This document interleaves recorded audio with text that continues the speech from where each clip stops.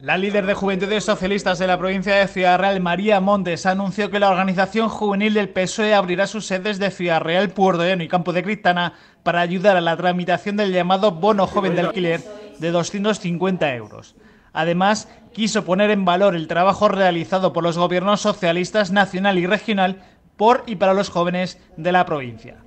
acompañada de Juan Gigante, secretario de Comunicación, y de Ignacio López, secretario de Formación, Montes subrayó que el mejor ejemplo del compromiso del Partido Socialista con los jóvenes es este nuevo bono joven de alquiler, del que miles de jóvenes se beneficiarán y que les permitirá emanciparse y llegar a fin de mes.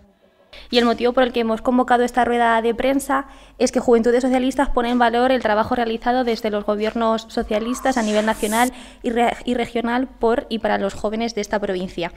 Ejemplo de ello es el bono joven de alquiler, bono del que miles de jóvenes ya se van a beneficiar y que se podrán emancipar y facilitará su llegada a fin de mes a muchos jóvenes. Este bono de alquiler consiste en subvencionar el alquiler de la vivienda habitual de jóvenes entre 18 y 35 años. Será una ayuda de hasta 250 euros mensuales durante 24 meses y los jóvenes deberán eh, llegar, llevar al menos tres meses en el mercado laboral y bueno, cuya renta no supere los 23.725 euros anuales.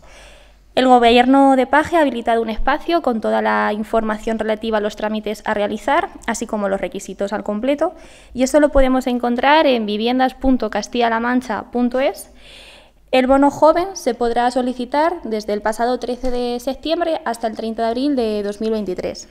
Además, eh, Juventudes Socialistas de la provincia de Ciudad Real va a habilitar tres sedes en la provincia, que se encontrarán puntos informativos, Ciudad Real, Puerto Llano y Campo de Cristana.